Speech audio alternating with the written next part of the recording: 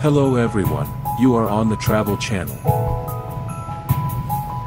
Today we will continue walking through the heart of northern Italy, the city of Milan.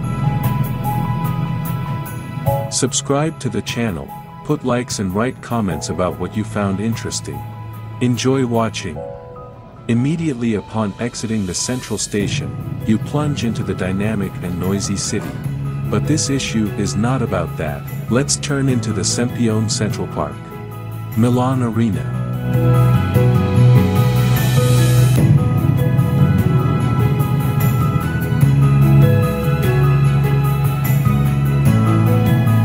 In the distance you can see the Arco della Pace.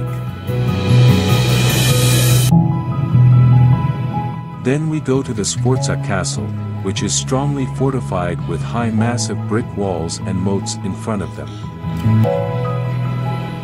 The castle was the residence of the Milanese dukes of the Sforza dynasty. It was erected in the middle of the 15th century. Leonardo da Vinci himself was involved in his adornment.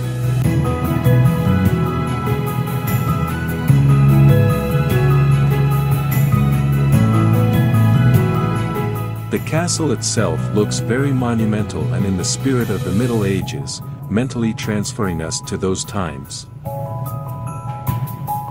If desired, you can visit the museums that are located in the buildings of the castle.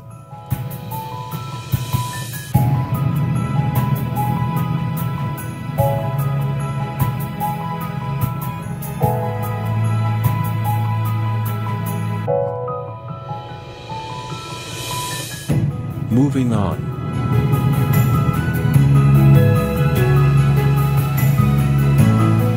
On the square in front of the palace there is a large fountain. The inhabitants of Milan nicknamed it Wedding Cake. This is due to the fact that, according to legend, whoever throws a coin into the fountain will surely find love soon. Currently, this place is the most popular for wedding photo shoots. We go further towards the central cathedral. Along the way we meet a lot of chain stores, boutiques, cafes and restaurants. Street life in Milan, especially on the tourist streets, is very active and full of artists. You are surrounded by beautiful architecture, the spirit of rich antiquity and refined tastes. The streets are full and crowded.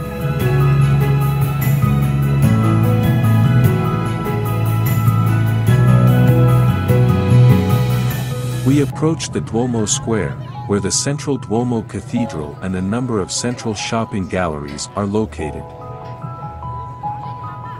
I highly recommend visiting the Duomo. This time the queue was not big and we managed to show it from the inside. Let me tell you a little about the history of its creation and its trace in history.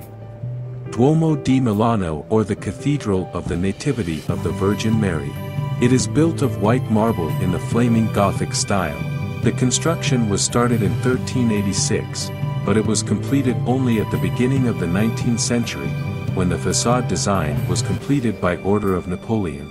Some details were completed later, until 1965. The cathedral is one of the largest in Europe, Milan Cathedral is second only to Seville among Gothic churches in terms of capacity, and among Italian churches. The greater size only St. Peter's Cathedral in the Vatican. There are 3,400 statues in the cathedral alone. The truly colossal dimensions of the temple can be felt only by being next to it and especially inside its vaults. The total length of the temple is 158 meters, the width is 92 meters, the height of the spire is 107 meters. The cathedral can accommodate up to 40,000 people. An interesting fact, in 1805 Napoleon I was crowned King of Italy in Milan Cathedral.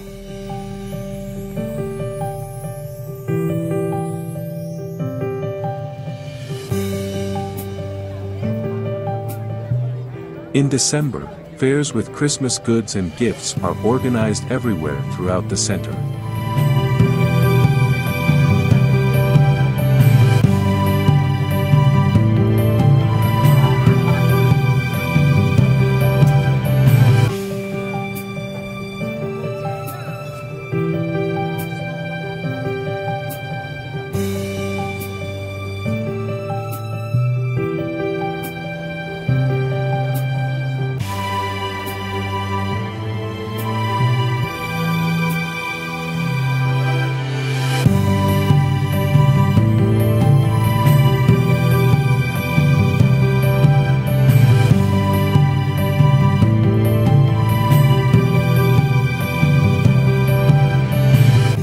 Very beautiful evening illumination.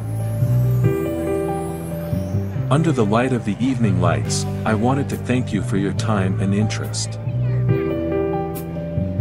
See also the first series of walks in Milan, and other issues of our channel. Subscribe, like and wait for new episodes. See you.